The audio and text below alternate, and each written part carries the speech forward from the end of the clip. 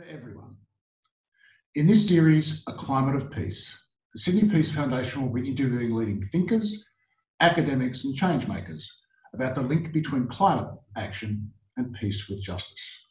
Today, I'm delighted to be joined by Emeritus Professor Frank Stilwell from the Department of Political Economy at Sydney University. Professor Stilwell is on the executive of the Council for Peace with Justice and is Vice President of the Evatt Foundation. He's also the author of more than 10 books, and his latest, The Politi- Political Economy of Inequality. He also recently contributed an article titled Snapback or Press On from the Current, Crisis to a Green New Deal. That article was published in the Journal of Australian Political Economy. In the article, Professor Stilwell puts the case for dealing with a deteriorating climate as part of the journey to economic recovery. And Professor Stilwell, welcome to a climate of peace. It's a pleasure. Um, Professor, I, I want to dis- discuss first inequality. Um, in your recent book, The Politi- Political Economy of Inequality, you say concern with the distribution of income and wealth has a central place in strategies for social progress in the real world. you your focus is on distribution of wealth rather than wealth creation. Why do you frame the discussion that way? Well, I guess if you look back into human history, uh, the eradication of poverty was always the, the justification for economic growth. And so the focus on the creation of wealth, producing more things, generating more incomes, uh, accumulating more wealth is quite understandable in historical context. But I think essentially that economic problem has now been solved. The production problem is now much less important than the distribution problem because we, we've got this world that is so terribly unequal between nations and within nations. The gap between rich and poor is so wide and shows little sign in general of, of, of closing. And so though we're capable as a, as a species of producing enormous amounts of stuff, generating income and wealth, we simply haven't solved the problem of distributing it fairly so that uh, we all share in that wealth, at least to, to some extent. The, the gap between the insiders and the outsiders is a source of so much social conflict. Uh, it, uh, and I'll also argue that it's the source of considerable environmental stress. We might see some of that conflict playing out in the United States at the moment. Mm, yes. You go on to your book, though, to talk about the environment, and you say the exploitation of nature is a particularly pervasive thing. Hmm. Tell us a bit more about your fears for equality and peace if we continue to exploit nature. Well, I mean, we're faced with this uh, incredible challenge uh, of climate change. If we can't solve this, frankly, the, the future of humankind on this planet is looking very bleak, and as indeed is the future of many other species too. Um, the, the, first signs of uh, the impending disaster are already upon us. Um, extreme weather events, associated problems of droughts, of bushfires, um, possibly changing uh, environment in which different kinds of health problems will Im- impact on, on, society. Certainly, there'll be growing uh, numbers of climate refugees, particularly in our region with so many low lying countries in the Pacific but more generally, we'll find greater pressures of people wanting to move between countries in response to problems arising from a changing climate. But we'll see uh, authoritarian governments trying to bring down the portcullis and uh, pull up the drawbridge to uh, insulate themselves, and in particular, uh, insulate the wealthy from the increased problems associated by the poor and marginalized.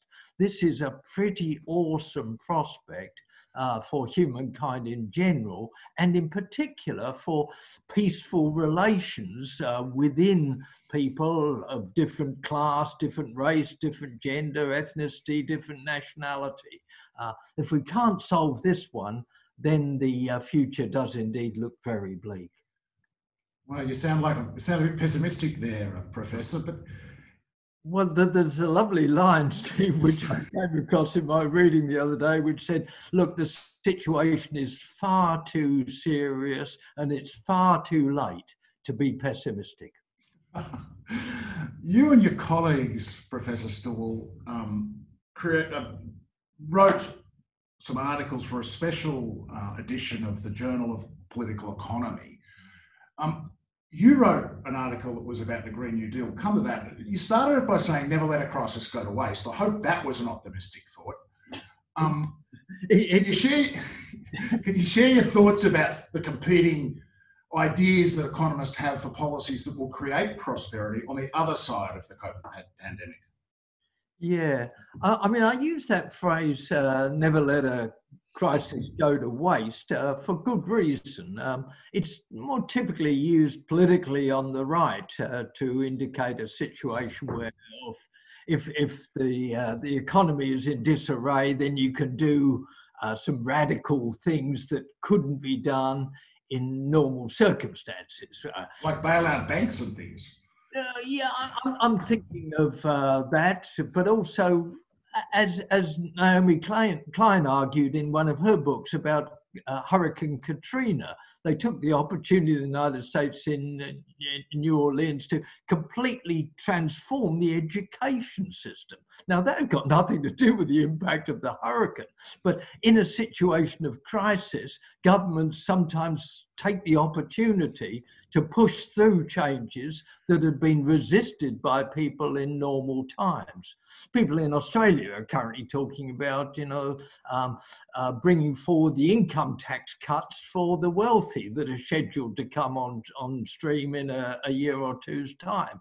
Uh, in other words, take the opportunity uh, uh, under the guise of talking about the need to incentivize and increase production, uh, of, making tax cuts for the wealthy, or perhaps for um, in, introducing new industrial relations reforms that will further curtail the power of trade unions. Uh, th- th- that's what I mean about uh, the right wing grasping opportunities in crises to drive harder versions of a neoliberal agenda.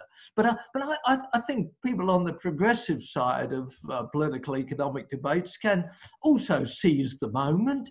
And that's why I've been pushing very strongly the idea of a Green New Deal. In other words, at a time when people do need jobs, but we also need uh, more sustainable policies for the environment and we need a fairer society, we could, if we had the political will and support, drive through a program that was job creating, uh, particularly of green jobs, jobs that would actually enhance our environmental credentials rather than continue that sort of extractivist process of production and ensure that we had a fairer tax system, fairer structure of uh, uh, government expenditures, perhaps even a uni universal basic wage, uh, uh which is not dependent upon the amount of work that's done th these are the sorts of progressive reforms that could be introduced and frankly I think could be very popular at a time when people are, are desperate for some vision of, of a post-COVID-19 society that is worth struggling for. So I'm not much of an economist, Frank, as you know, because I studied with you, but um, Keynes I studied at, at school 40 years ago. And of course, Keynes said when you're in a recession or a depression, it's government's government's role is to spend money. So, what are you saying? that government could choose to spend money on Absolutely. The, the, the, current government in Australia is already doing so uh, in a way that would have been unimaginable six months ago. It was talking about um, running a budget surplus. Well, that's completely out the window. We're, we're now running the biggest budget deficit in, in Australia's history. So Uh, and, and, that has been driven by the force of circumstance. In other words, the government has already em- embraced Keynesian policies of big spending to try to stimulate the economy a, uh, so as to avoid a, a, an even deeper recession than the one we're currently experiencing.